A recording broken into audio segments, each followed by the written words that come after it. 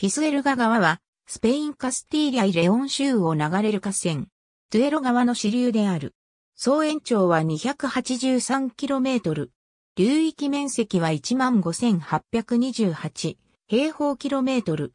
流域にある最大都市はバーリャドリッド。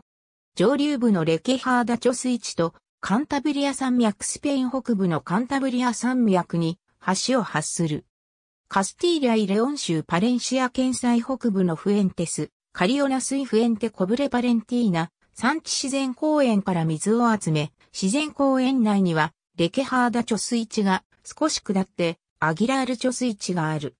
その後はパレンシア県とブルゴス県の境界付近を南下し、パレンシアの東約 20km の位置では、ブルゴスを通るワルランソン川を集める。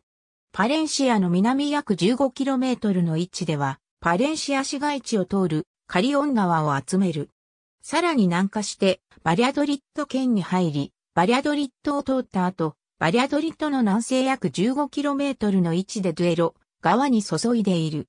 1950年代には上流部にアギラール貯水池が建設されたため、ピスエルガ川の水位は年間を通じて規則的となった。この貯水池のおかげで北メセタに灌漑農地が広がった。ありがとうございます。